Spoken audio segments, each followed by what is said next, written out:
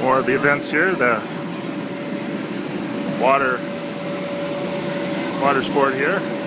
Sort of like water polo, where the kids are the ball.